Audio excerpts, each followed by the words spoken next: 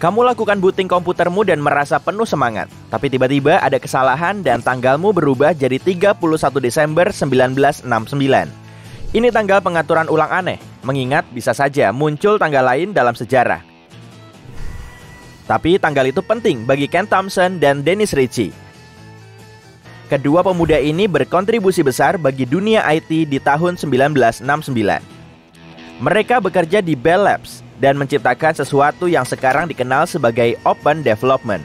Mereka membawa Unix, salah satu operating system atau sistem operasi atau disingkat OS ke dunia.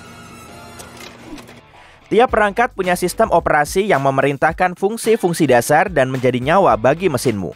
Ponsel, tablet, atau komputermu semuanya memakai OS, sehingga kamu bisa menonton video ini. Meskipun sebagian OS unggul ketimbang OS lain, Unix berada di level yang lain sama sekali. Banyak penjiplak mencoba meniru kemampuan Unix, tapi gagal. Sejumlah pemakai dan asosiasi berkumpul dan membuat sejumlah besar produk lain di bawah Unix. Banyak di antaranya dipakai sampai hari ini, tapi yang paling sukses adalah Linux. Peringatan, OS ini bukan untuk pemakai sehari-hari yang maunya cuma mengklik sejumlah tombol atau perintah dan berharap semua saling cocok. Banyak kode dan perintah yang harus kamu tahu untuk menginstal software tanpa semua diuraikan kepadamu. Kelebihannya, kamu bisa membuat PC yang customized banget, yang berjalan pas kayak yang kamu inginkan. Kelemahannya adalah kamu harus mantengin banyak huruf, angka, dan simbol agar sesuatu bisa bekerja. Jika kamu pengguna Windows, Linux nggak akan mudah. Linux juga nggak cuma satu versi, Sistem ini tumbuh melalui perpaduan dengan software lain yang menyatukan semuanya jadi satu OS yang bisa kamu pasang dengan mudah. Untuk banyak fungsi Linux, kamu harus menginstal program khusus secara manual agar semuanya berjalan lancar. Untuk menyalin sebuah gambar ke dalam USB saja, kamu harus mencari software open source yang pas untuk memulainya. Jangan khawatir, nggak semuanya harus diinstal pengguna kok. Kamu bisa berharap beberapa distribusi Linux dilengkapi dengan browser Firefox dan Google Chrome. Menavigasi dengan perangkat Linux punya beberapa unsur yang bisa dikenal, kayak desktop cache dengan satu menu aplikasi, taskbar, dan window yang menampilkan notifikasimu. Tapi, jika kamu ahli teknologi dan nggak senang dengan desktop bawaan itu, kamu selalu bisa menyesuaikan desktopmu dan menginstal salah satu pilihan, asal ruang penyimpanan dan software pihak ketiga bisa membantumu membuat desktop impianmu. Tapi yuk kita fokus pada kelebihannya dan menyimak bagaimana Unix merintis jalan bagi para pecandu teknologi dan profesional serupa dengan berkontribusi terhadap komputasi cloud, keamanan cyber, mobilitas, virtualisasi, dan banyak lagi bidang yang terkait teknologi. Kamu bahkan bisa menemukan OS Unix di berbagai industri kayak farmasi, perbankan, telekomunikasi, dan kesehatan. Sebagai tulang punggung dari hampir semua komputer, pendiri meninggalkan lelucon menarik untuk membingungkan semua orang dengan tanggal khusus 31 Desember 1969. Saat itu komputer belum umum di rumah tangga biasa. Baru mulai tahun 90-an, kebanyakan rumah tangga Amerika memiliki desktop, tempat mereka berselancar di web primitif. Kelahiran internet yang sebenarnya dimulai pada era 90-an, meskipun sudah ada puluhan tahun sebelum itu. Internet bermula pada tahun 1969 ketika sesuatu yang disebut ARPANET menjadi buah bibir kota. Orang mengenalkan fungsi dasar awal mirip internet yang kita kenal sekarang dengan saling menghubungkan beberapa komputer universitas dan berbagi file-file akademik atau dengan kata lain berbagi peer-to-peer. Setelah itu, lebih banyak universitas bergabung sampai mereka mengubah namanya menjadi internet yang pada dasarnya adalah distribusi besar dari sistem jaringan yang tergantung pada banyak mesin yang berbagi berbagai hal satu sama lain. Internet butuh jaringan berbagi untuk bekerja tanpa kehadiran manusia.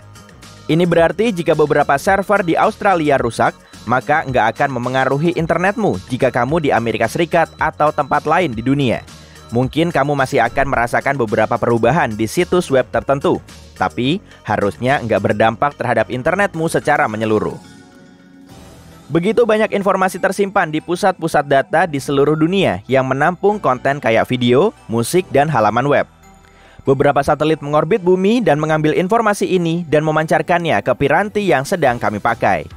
Meskipun cara ini ada, alasan sebenarnya kita terhubung dengan internet ada di dasar laut. Kabel-kabel dipasang di dasar laut dan membentang antar benua, menghubungkan rumah-rumah server dengan penyedia internet di seluruh dunia. Kabel-kabel ini terbuat dari serat dan sangat tebal, hingga tekanan di kedalaman laut nggak menghancurkannya, dan nggak ada objek berbahaya yang bisa menghancurkannya. Kabel-kabel ini membentang sejauh ratusan ribu kilometer di seluruh benua, banyak perusahaan berinvestasi besar dalam jaringan bawah air ini yang membuat dunia tetap up to date dalam apa saja. Meskipun benar bahwa internet memakai satelit, cara ini lebih lambat dan kurang responsif ketimbang yang dijalankan melalui kabel. Internet satelit juga lamban dan enggak bekerja sampai level optimal. Di tahun 90-an ketika smartphone masih terbatas di sci-fi dan layar monitor menyita hampir setengah area kerjamu, belum ada wifi kayak yang kita kenal sekarang. Dial up adalah perjuangan dan merupakan satu-satunya cara kamu bisa mencapai internet. Kamu ingat bunyi gangguan mirip alarm mobil itu? Ya, itu bunyi internet masa itu. Yang akhirnya berarti halaman web butuh waktu sangat lama untuk dimuat.